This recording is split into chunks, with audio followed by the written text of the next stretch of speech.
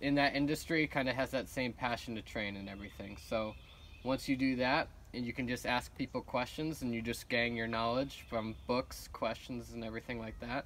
That's a great way to start. Okay. Yeah, doggy daycares are great. You can read a lot of dog body language and really um, go with like the smaller dogs and see like how the process all works. Cool. Yeah. Thanks for your question, Coleman. You're welcome, John. Anytime.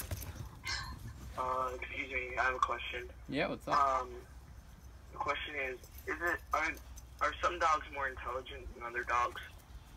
Uh, so yes, uh, there are some breeds that are definitely a little more intelligent than others, but it also is like situational on the dog. So if you get a litter of dogs, meaning they're all brothers and sisters and everything, there's going to be some dogs that are definitely a little smarter than the others, but that doesn't mean that any dog is untrainable because they're not smart as the other one. Um, most of them are still very food motivated. Food is like money in their mind, you know? And so when you can give them a task to do and you give them food for it, then they're going to want to do that task for you. And so some dogs might learn it quicker than others, but all dogs can definitely learn it. All right. Awesome Thank you.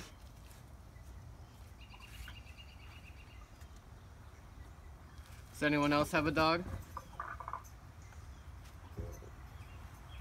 Coleman, do you have a dog at home? I wish. Oh yeah? What kind of dog do you think you'd get? Do you know? I would get a golden lab. Nice. They're so cute. Yeah, those are great family And I dogs. would also get like a husky because they're really intelligent and talky. yeah, yeah, they talk a lot, definitely. Because yeah, let me know. I'm serious. I would. And they can pu- pull you around on the sled in the winter too. That's what they do up in Alaska. yeah, I think that's what Tell 'em we went. into. Yeah, we actually went to Alaska when I was eight years old, and we got to see like um, some Dita mushing teams, is what they're called, run by with uh, their pack of dogs. Yeah, it was awesome. I went floating in my woods once. A dog came out of nowhere. She slipped under a fence, hmm and um, she went into the woods area. Snow everywhere. So she was like invisible to them. yeah, the Bichons Yeah, and the must have ran over with sled. the white dogs in the snow are definitely hard to see. Yeah. And lucky Lana's got a couple darker spots, so she stands out a little bit. Yeah. Well, that's funny. The dog's completely. Sean, Hey Coleman, what's up? One time we were at the preschool, at the um, at the high school, and then like I was sitting on the bleachers, and then all of a sudden, a really energetic golden retriever ran at me. Oh, right to you? Yeah. Nice. And you get to pet him? Oh. well, it seems like he chose you. Dogs have like a good sense of um, Smell. yeah, good sense of smell, and they have a good sense of uh, like people that get along with dogs really well. So it seems like he chose you. Nice. Yeah, that's awesome. Any other questions? What is the percentage of dogs that can sleep in, like, that sleep on a bed and not on a bed? So that's just up to uh, the owner, honestly. So, Uh, um, as long as you create like a boundary and let them know that you need to be invited up to the bed, then going on the furniture is perfectly fine. But there are some situations where, just to ensure you're doing like proper leadership exercises to make sure your dog sees you as kind of like the head of their pack, um, there are situations where we recommend not going on to your bed right away. But yeah, once once you've had the dog for a while, it's it's always a pretty good bonding experience to have them like right there on the couch with you or anything like that. yeah, my dog just jumps on the furniture all the time. Yeah. and you guys, are you guys okay with that? Yeah, like, it can be my bed, it can be my sister's, it can be my mom's dad's, it can be on the couch, anywhere. Yeah, I mean, yeah. A lot of people in America are, oh, very um, keen to having the dogs on their bed. In Yeah. different different cultures, a lot of dogs are kind of like street dogs, and they're just viewed as animals, just as we view like a squirrel or a rabbit or anything like that. Yeah. But I, it's I a lot more homely here. I would add sometimes when they the little ones when they get older they might have hip problems and you might want to have a little stairway, Yeah. something to help them up. Yeah, they, um, my dog's kind of having like a little leg seizures right now. Oh really? Yeah. And what She has them every once in a while. She's like, she, she, her tail goes down and like, she just sits there in pain for like three minutes around oh there. no. And what's the vet say about that? If they checked her out? We haven't checked. We haven't been able to check because of COVID. Okay. She started like just before. Okay.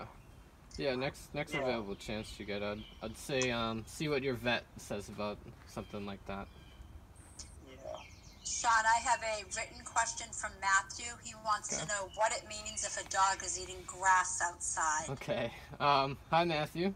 Uh, so for the most part, dogs eat grass because their stomach feels upset, and that's the way that they can provoke themselves to throw up. But sometimes it's just they're bored, and a lot of dogs are just very mouth fixated, so they just kind of want to chew on anything. So if you bring like a bone out there, or maybe you're okay with them chewing a stick if you're supervising them, that's like a good way to try and get them off of obsessively eating grass. I remember a dog just eating grass. Uh, like my neighbor, they have a dog, and it's a golden retriever. Yeah. So eats the grass. Just totally. yeah, yeah, a lot of dogs do it. Um, there are some like sprays out there, like bitter apple sprays that don't taste very well. And so if you have like a designated spot you don't want your dog to chew or eat, you can spray a little bit of that on there and see if that helps. I have uh, another written question from Kim. Okay. She wants to know uh, she and her family are thinking of adopting a dog, and her mom wants to know if dogs can understand two languages. And I happen to know the answer to this. But go ahead. yeah, so dogs can understand uh, multiple languages, definitely. And the reason is, is because what we're saying to them, um, like English, Spanish, whatever the language may be, it kind of all sounds the same to them, anyways. They don't technically speak any of our languages. You can associate any word with the word sit, you can make that any word that you want. Words are just something that you give value to by repeating what they mean and what that stands for. So yeah, you can definitely have a dog. Um, a lot of people use German actually for like higher working dogs. So like instead of like heel, the German word for that is Fuß. So yeah, um, Lana actually knows a couple German words herself.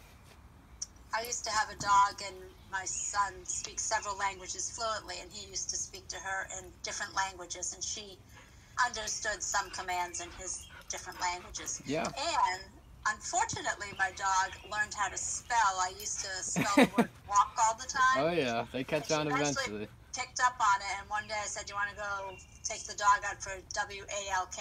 And she bolted for the door. I said, "Oh no, she's Yep. figured out spelling now." yeah, once you do something enough, that habit, they can pick up on it. And it's funny too. Um, when I worked at a doggy daycare, there were some dogs there that had like uh, last names like Lopez or something like that. And us workers would always be like, "Oh, these dogs really never listen to what we're saying." And one time we told them to sit in Spanish. We told them "siéntate," and they they listened right away. So there's some situations like that where you meet a dog and you never really think about speaking another language to them, but Right. turns out that's the language they know. Interesting. Sean, I, I, Coleman, I have a question about click training, Sean, because remember that dog that we rescued, Lucy, that we she was a mess when we got her, and then as she settled down, we got a clicker and we realized that her prior owners, wherever she came from, had used click training because she responded to clicks. Can you talk about click training? Yeah, so clicker training has been scientifically proven to train dogs um, quicker than just using our words. And the reason for that is because the click sound is something that doesn't come out of our mouths. It's a very distinct sound that they don't really hear. Um, since we're talking to each other all the time, our language can get kind of lost in that. And so the clicker is a very consistent sound. It's the same exact sound every time. And so when you mark a good behavior with that, you tell them to sit, they sit, you click it, and then you give them a treat. And that's where classical conditioning comes in. Um, the kind of the bell uh, makes the dog salivate if you give it a treat af- after every time you ring a bell. Same thing with the clicker. If every time you click the clicker, you give them a treat, eventually they're going to know that the clicker means that they did something good. Thank you.